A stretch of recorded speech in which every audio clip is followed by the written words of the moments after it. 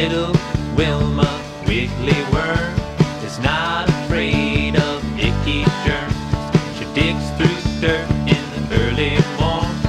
Brave little Wilma Wiggly Worm.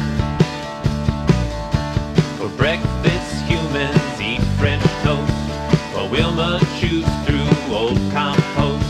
She's a proud young worm, but she never boasts. Proud little Wilma Wiggly Worm.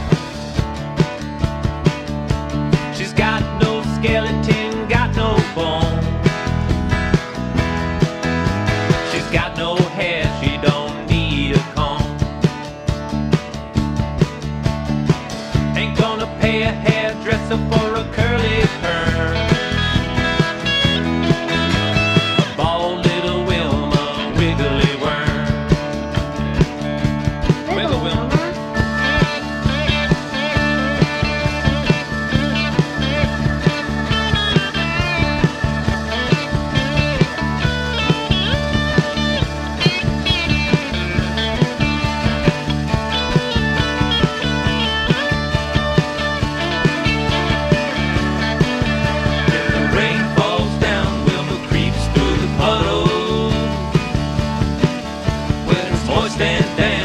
the earthworms huddle.